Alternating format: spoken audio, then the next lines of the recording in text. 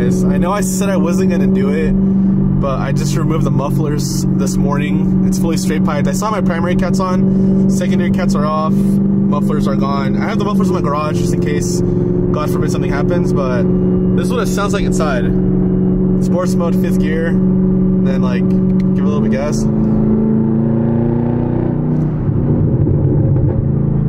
Yeah. Alright, I'll do another little video with the windows down.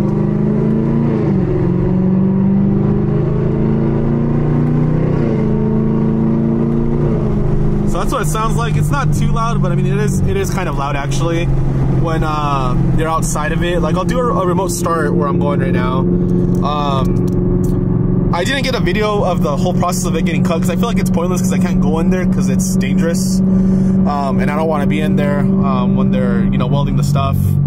Um, this isn't the full exhaust I'm keeping, by the way. I just wanted to be loud. Um, ordering a Corsa exhaust at the end of the year. Like I said, I don't plan on touching this for a while. Um, the cart is making a ticking noise, but according to people, it is normal because it's direct injection or something like that. And then they're saying because it has to break in. Um, ever since I did the full straight pipe, I rarely hear it, but I hear it with my AC on. It could be an exhaust leak or worse, it could be a cat, uh, a cat coming from my stock cats. And if it is, that's uh, it's warranty, but I'm gonna do headers eventually. So I don't really care. The car is fast. It's only got 320 miles. I'm not really being too pushy with it because it's still breaking in. Um, I'm keeping it under 35 to 4,000 RPMs. Um, the car did leak coolant, but they did overflow it. So it kind of makes sense why it would leak. Um, kind of annoying. It happened on my Supra and it happened on this one now. Um, I don't blame them though. They're just trying to be like careful with the car. Probably keep it really good.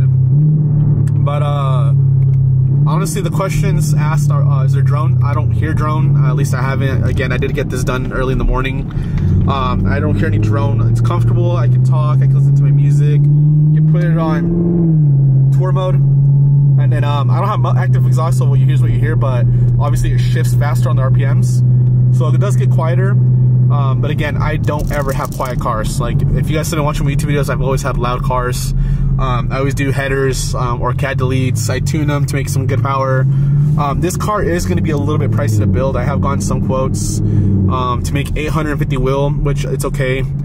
Um, makes sense for a car that it is. I just, again, I have a whole year to save up. I'm not planning to do anything crazy as of now.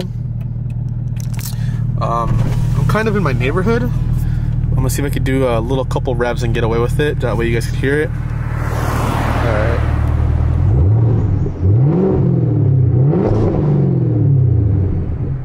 One thing I hate about automatics, by the way.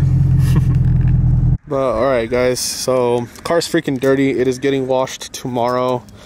Um, detailed, actually. But the brakes, bro, the brakes on this car kick up so much dust and dirt. It is insane. Something I'm not used to besides the Hellcat that I had. But they never got this dirty. Now the ticking I'm hearing, I'm hearing it from this side, like right here. Um, I hope it's something crazy. Again, I did ask in the forums. I did talk to a couple ZL owners. They said it's normal.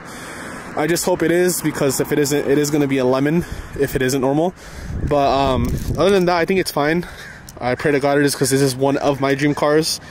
And then I got the custom satin black uh, tips on both sides.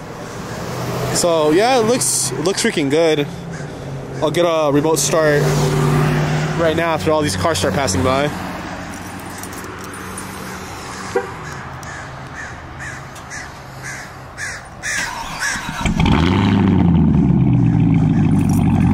So again, muffler delete and secondary cat delete. And this is how it idles.